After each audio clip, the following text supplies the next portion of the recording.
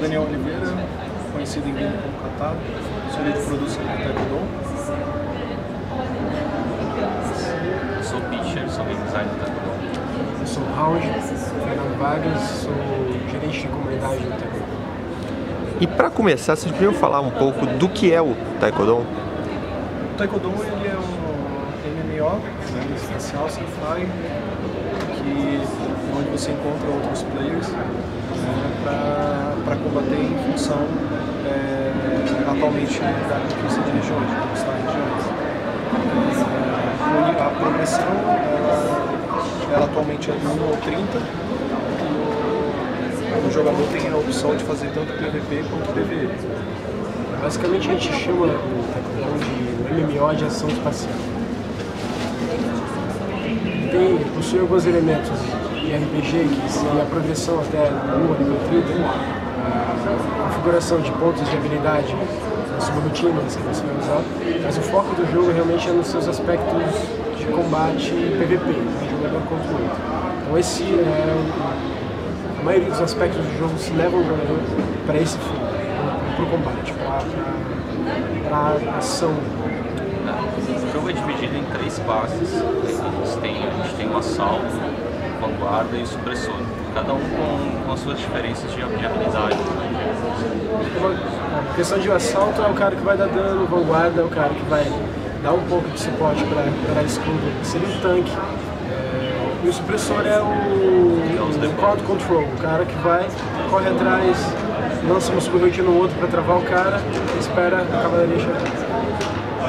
É, o objetivo do jogo é, é, ficar, conseguir fazer as naves mais fortes através de, de projetos e ao fazer essas naves você tem que fazer upgrades e esses upgrades o jogador tem que ficar procurando os, itens do jogo, tem que farmar em PC ou, e, ou comprar de outros jogadores, né? É, o sistema de upgrade seria o sistema de improvement de itens. Você produz os seus itens desses itens que você já produziu, você pode melhorar esses itens de 1 a 10.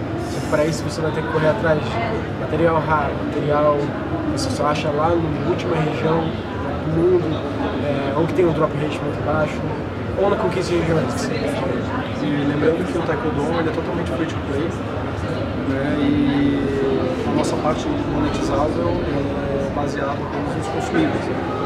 Assim, é, evitando é, famoso pay to win, né, que a gente se preocupa bastante apenas é, em colocar elementos é, que sejam monetizáveis para que não desbalanceie é, o combate PVP. É, o nosso cash shop é mais voltado para o utilizador de tempo, né? As pessoas que não têm muito tempo para ficar farmando item ganhando XP, ou até mesmo para pegar os itens para fazer os, upgrades. Ao invés de pay to win, seria um pay to shortcut, que é pagar para pegar um atalho. Em vez de você ter que é, passar uma semana ou duas semanas esperando para conseguir um estabilizador, que seriam os itens usados para fazer o provavelmente você pode comprar esses. Né? Ah, só que a chance de do item dar certo é igual para quem paga e para quem não paga. Então é só uma questão de você conseguir uma coisa mais rápida. E esse item mais rápido não seria uma nave mais forte, um canhão mais forte. Isso não é vendido na loja. É só os itens que você acaba consumindo. Mas você pode falar um pouco sobre o endgame do jogo? Porque quando a gente está falando de um jogo massivo, é uma das partes. Não adianta você ter um jogo muito bom que os jogadores jogam durante uma semana e param de jogar. E até porque vocês estão tendo, vocês vêm aí com uma novidade no sistema no endgame do jogo, né? Nessa terça-feira, não é isso? Isso, a nossa nova versão. Ah, você quer falar o A conquista de regiões, ela, ela atualmente nós dividimos né, algumas regiões e elas são conquistadas e as companhias, é, independente de facções, elas podem é, conquistar aquela região. Só que. É, o pessoal leva suas. É, produzir belonaves. Sim, sim. Nós temos as belonaves que elas precisam ser alocadas lá. Isso aí eu deixo para o pessoal gerir dar mais detalhes. É, lembrando que a, o jogo ainda está em desenvolvimento, né? Os features que a gente está implementando e a gente está alterando só a gente planeja deixar o endgame mais entre guerras de companhias e guerras de facção. Isso a gente já está caminhando para isso. Como é? essa, essa novidade né, dessa feira, no caso que eu conversando com você, é simplesmente uma versão de balanceamento bem importante que a gente está fazendo no endgame, que é a conquista de regiões. É basicamente fazer com que é, as belonaves exigem, é, exigir um pouco mais de estratégia de combate ao atacar uma belonave. Uma belonave é uma belonave de guerra, um navio de guerra. É, é battleship. É, localizando fica a belonave. Nossa versão atual, ela, a belonave ainda está, a gente analisa que ela está desprotegida. O pessoal acaba derrubando essas belonaves com facilidade. Na versão nova, que seria, talvez saia segundo terço, depende deles, no caso, é, a gente vai adicionar várias torretas na belonave, a gente vai adicionar uma regeneração de escudo maior, a gente vai fazer um balanceamento geral para que, geral. porque atualmente o ataque ele está bem mais fácil do que a defesa e isso está frustrando os jogadores. E, e o ataque está muito limitado numa estratégia única de atacar, dominar. É como se, atacar, como se fosse atacar a bandeira. A gente quer eliminar isso, quer colocar alguns caminhos que o cara tem que fazer para tentar, para realmente destruir bela Basicamente a gente incentiva é, os jogadores a conquistar a região porque eles ganham muito com isso, eles conseguem é, minerar nessa região e conseguem colocar no depósito deles, é, mais, é bem mais tranquilo para eles minerar e levar os itens de volta. A segurança de perder. Segurança de. As, as, as, áreas contestadas né, são onde são os melhores tropas, os melhores minérios.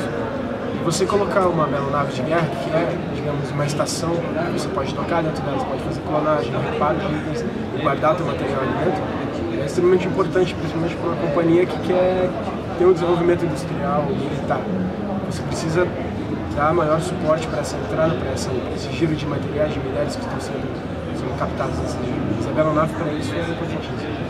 E vocês chegaram a falar um pouco da, da economia, do, até do sistema agora, quando vocês estão falando do sistema de PVP, o que, para quem não conhece, uh, o jogo, quem faz o jogo são os próprios jogadores, porque a economia é gerida por eles, né? E quem faz também o PVP é eles, não, é, não tem aquele sistema artificial de. Até tem quest, né? Mas não tem aquele sistema artificial de que tem a questzinha para você fazer. Quem faz o que está acontecendo, para onde vai o jogo, são os próprios jogadores, né? A gente vai adicionar o mercado de jogadores. Sim, sim, o mercado de jogadores vai botar os jogadores no controle da economia. É, após a, a balanceamento total e estabilização da conquista de regiões, é, nós vamos trabalhar no, nos chats, né, na comunicação em game e é, reformular atualmente a economia que nós temos em game.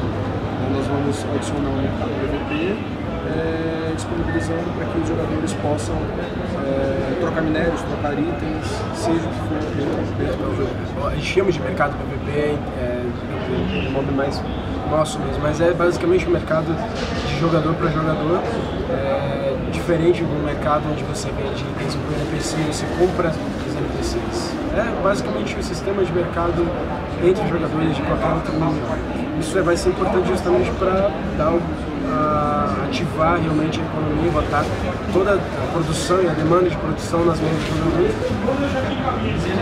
Não faz sentido. É, vai dar sentido a cada classe. É, justamente porque a guerra, por exemplo, ela consome suas pelonaves. As pelonaves, elas, você é, exige um valor alto de material que você vai ter que juntar, fazer um projeto, conseguir a tua pelonave. E se você perder essa pelonave, você vai ter que conseguir ela do zero. A própria guerra do PVP vai criar uma demanda para a parte industrial do jogo. E a parte industrial do jogo tem que dar base para a galera do endgame que é do PVP. Então as coisas vão se encaixando assim que a gente começar a inserir no mercado. Cada jogador vai ter seu papel no jogo. Isso. É, o militar e o industrial vão ter os seus papéis dentro do jogo. Isso, a indústria realmente é o melhor nosso industrial é o nosso maior objetivo. E eu tô vendo que vocês dois estão usando. Os produtores estão usando camisa de apenas uma facção. Isso tem alguma influência do jogo? Eu, é, como já foi postado algumas vezes no fórum, o pessoal já sabe que eu sou renegado. Eu, eu tenho um personagem renegado pessoal que eu mesmo luto. É, não vale falar nome, senão. É, eu não vou, é, eu não vou falar nome também, porque senão não vai ser. Então você vai morrer o tempo inteiro? Vou morrer o tempo inteiro. Não, nem tanto, né? Porque... eu não tenho preferências no jogo. classes, mas eu tenho um personagem renegado, que foi o personagem que eu tinha Ah, cara, pra comunidade isso ser E-. Mas eu tenho um personagem consórcio também, que, que eu não- também não preciso falar o nome, eu tô upando ele também. Mas, mas não tenho preferência. Eu pessoalmente acho as regiões da, da consórcio mais bonitas que as regiões da. É que o azul é mais agradável. É, nos eu mares. prefiro um pouco as regiões do consórcio. Eu tô usando a camiseta da Hoplon, que é a camiseta que a Hoplon trouxe pra BDS, que é o, é o elmo do Lupita, mas eu tenho, eu não tenho, não vou dizer a minha preferência, ela existe, só que eu sou apaixonado pela história do Taekwondo, então tem uma parte muito grande dessa história que é relacionada com, com o consórcio, e a outra parte que ainda não está bem explicada, bem definida, que é o objetivo que a gente tem com o Dogma, que seria o, o livro inédito que a gente tem do Taekwondo, que é pegar, assim como o Despertar é um, um dos livros mais importantes que a gente tem, o Dogma vai sempre contar o outro lado da história, o lado dissidente, o lado pirata, o lado do, o lado do cara que não concorda muito com aquela ideia corpora- corpora- corporativista da, do consórcio. Então, eu gosto desses dois lados e não, não vou dizer o nome do personagem também. O round, ele é igual. Eu tenho que ser de Galvão. Bueno, né? Galvão Bueno, eu só foi descobrir o time dele, acho que 30 anos depois, né? De carreira. É, então, eu, tenho que ser diplomático. Na, como- na, comuni- na gerência da comunidade tem que ser diplomático, eu não posso ter uma preferência, senão, senão o pessoal vai achar que a gente tem que estar beneficiando um lado. porque- Não gerar confusão, né? É, mas é, é, é mais uma questão mesmo de. Mas todo mundo aqui é apaixonado, brincadeira. né? apaixonado pelo jogo, Nós jogamos, nós jogamos vários, eh, vários outros jogos. E assim como eu tenho preferência para tanque e outros MMOs, eu também li toda a história do, do Taekwondo e eu gosto, atualmente eu gosto dos renegados. Aqueles que eu achar que foi um espião aí. Né? Ó, falando em ser espião, você nunca mais vai ser recrutado numa companhia, cara. E para terminar, vocês querem deixar alguma mensagem? Ah, a gente gostaria de agradecer né, a confiança que todos os veteranos, eh, nós gostaríamos também de dar as boas-vindas para os novos jogadores, eh, para que eles possam eh, confiar no nosso trabalho, para que todos eh, possam construir um, um jogo melhor. Nós estamos ouvindo vocês.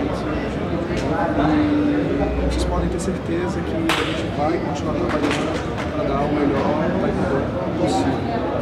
A gente, é, dentro da comunidade de Taekwondo, a gente, é, de uns meses para cá, a Hoplon mesmo, uma mudança de postura interna da empresa, começou a, a dar um valor muito maior para o feedback dos jogadores.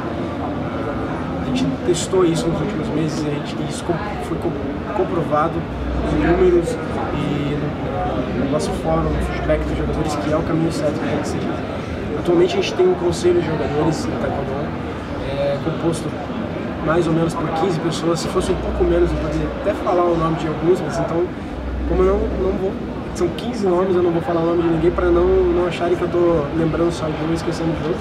Mas esses jogadores são importantes para dar um feedback, para sentar com a gente, é, conversar a respeito do jogo, analisar o jogo, analisar a entrada de, uma, de um recurso ou outro, um balanceamento ou outro, dizer esse, isso aqui tá legal, isso aqui não tá legal, os jogadores estão querendo isso, a gente está sentindo falta disso.